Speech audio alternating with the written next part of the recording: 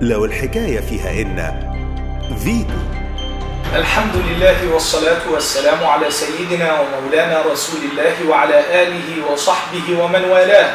سائل يسأل ويقول والله أنا نفسي حج لبيت ربنا سبحانه وتعالى وزور سيدنا النبي صلى الله عليه وسلم ولكن لا أمتلك أموالا لكي أذهب للحج فهل أستطيع أن أقترض من البنك لكي أذهب لأحج إلى بيت الله نجيبك على هذا ونقول نسأل الله جل وعلا أن يرزقنا وإياك حج بيته الحرام وزيارة النبي المصطفى عليه الصلاة والسلام.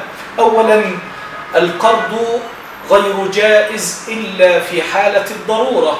والفرض الذي نحن بصدده وهو فرض الحج ألا وهو الركن الرابع من أركان هذا الدين القويم فرضه الله جل وعلا على المستطيعين من أمة سيدنا رسول الله قال سبحانه ولله على الناس حج البيت لمن يا رب. قال من استطاع إليه سبيلا. وحضرتك دلوقتي في حالتك دي أنت حضرتك غير مستطيع يعني الحج غير واجب عليك.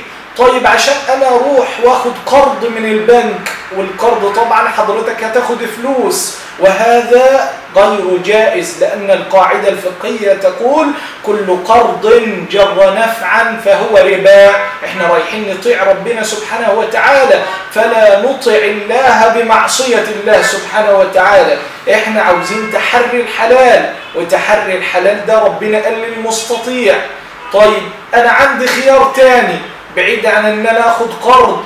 هناك شركات سياحة كبيرة بتعمل حاجة اسمها الحج بالتقسيط. لو حضرتك موظف في أي مكان وحضرتك بتاخد دخل مثلا 2000 جنيه والحج هم هياخدوا منك كل شهر 500 جنيه فالحج ب 60000 جنيه وقالوا لك ب 70 ده بديل تاني عن أخذ القرض.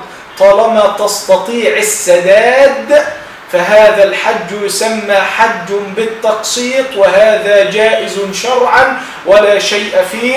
أسأل الله جل وعلا أن يرزقنا وإياك حج بيته الحرام وزيارة المصطفى عليه الصلاة وأتم السلام. هذا والله تعالى أعلى وأعلم.